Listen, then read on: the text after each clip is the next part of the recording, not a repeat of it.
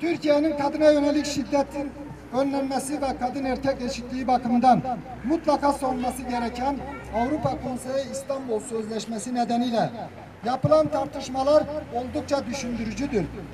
Özellikle ilimizde 5 Ocak 2020 tarihinden beri kendisinden haber alınamayan Gülistan Dokun şahsında kadına yönelik şiddetin önlenemediği ve giderek arttığı bir dönemde İstanbul Sözleşmesi'nin tartışılması şiddet politikalarının nedenli egemen olduğunu da göstermektedir.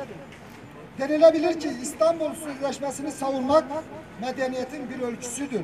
Bunun dışında elbette ki kadınların hak mücadelesini çok ciddi kazanımlar elde ettiği ve barışa giden yolda kadın hakları mücadelesinin elzem olduğu unutulmamalıdır.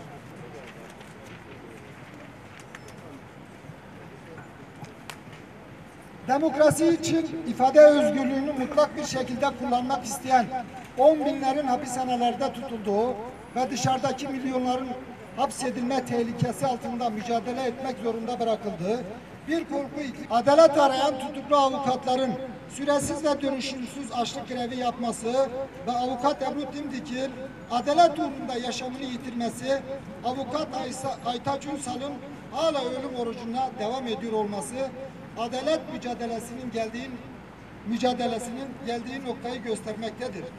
Adaleti yerine getirmeyen yolu yolu barış mücadelesini adaleti yerine getirmek getirmenin yolu barış mücadelesini büyütmekten geçer.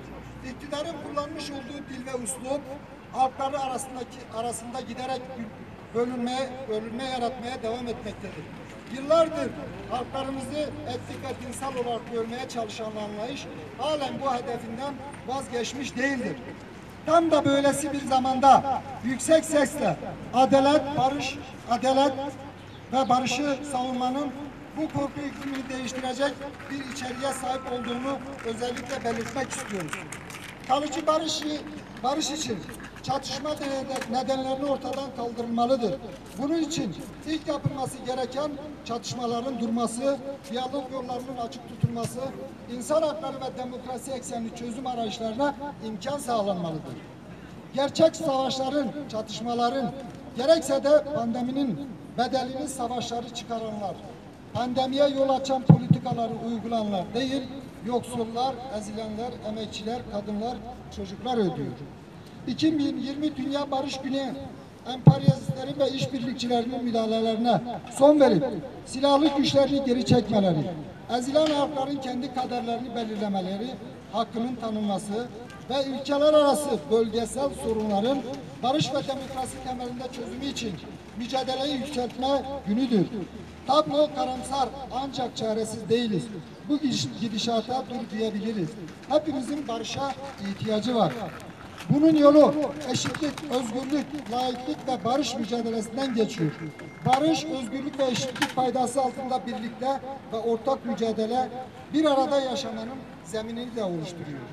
Savaş ve yıkım politikalarına karşı barış için birlik, mücadele ve dayanışmayı büyütmeye çağrısıyla işçi sınıfı ve haklarımızın Dünya Barış Günü'nü kutluyoruz. Emek, Dersim Emek ve Demokrasi Bileşenleri. Teşekkür ediyoruz arkadaşlar.